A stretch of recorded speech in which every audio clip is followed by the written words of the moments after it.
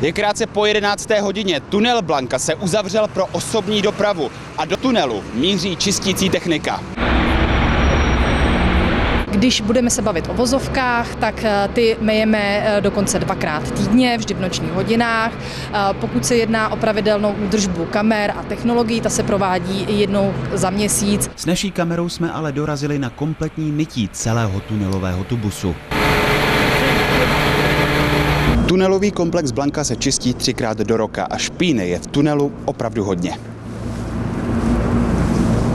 Čištění probíhá tak, že se mejou nejenom vozovky a stěny, ale v jarních měsících mejeme i strop. Eh, poté čistíme dopravní značení, kamery, eh, dále čistíme SOS budky a kompletní zázemí, probíhá kompletní kontrola. Během čištění je v nočních hodinách tunelový komplex uzavřen, a to dokonce na několik dní. Samotné mytí pak probíhá po částech.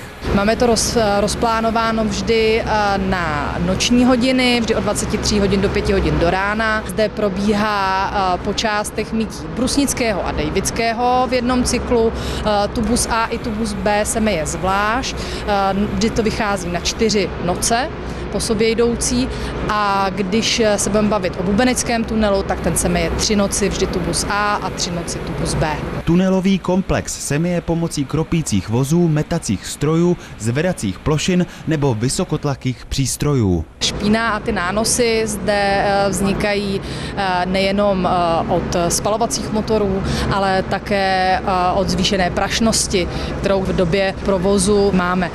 Máme zde i vlastně zvýšenou opacitu právě díky prachovým částicím. Za celý rok se na mytí tunelu Blanka spotřebují až 2 miliony litrů vody.